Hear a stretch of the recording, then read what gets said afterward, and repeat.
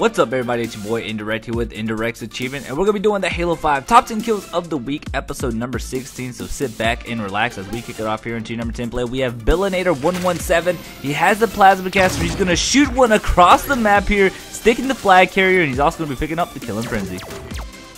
Coming into number 9 player, we have Sticky Spree 13, and he's moving into the blue treehouse, stopping the flag carrier in his tracks. We got Divine Damsel on top mid. He's going to clean that up here for the double. Drops a beautiful grenade to make both guys weak, cleans up the triple, and then he's going to finish the last guy off, running the flag for the overkill.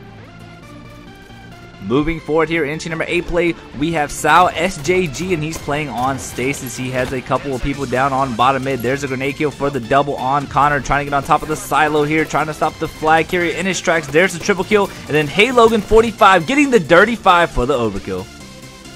Now for lucky number 7 play, we got my boy Riot Shock, and he has the sniper in his back pocket. Oh, popping a guy there with the headshot, bringing it back out. Two body shots here for the triple, and then a headshot for the overkill. Four shots, four kills. That is an overkill.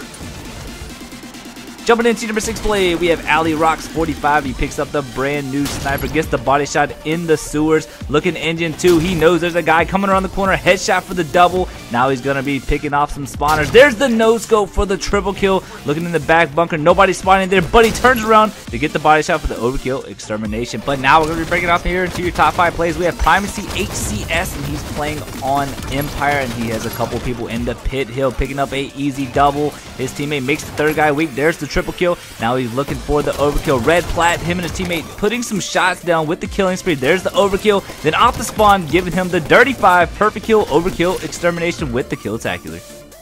Now for number four play, we have Arctic and this play is pretty impressive. He's going to be setting up the barrel that is in blue room, and he's going to be setting it up perfectly. He sees a guy on the radar. He's going to backtrack just a little bit, waiting for him to come around the corner. He's going to get the kill, and now that you guys think that it's going to get more impressive, he's going to get the ninja for the double kill. Now for your number three play, we have AH2BR, and he's playing some Super Fiesta. He has the binary rifle in his hands, picking up a double kill here on top of the catwalk. Looking down low cab, missing a shot, but he will pick up the triple with the killing spree. Another one top tower, easy kill, overkill. There's the killtacular, and then look at this, looking on the radar, trying to help his teammate out, and he's going to get the storm rifle kill for the killtrocity.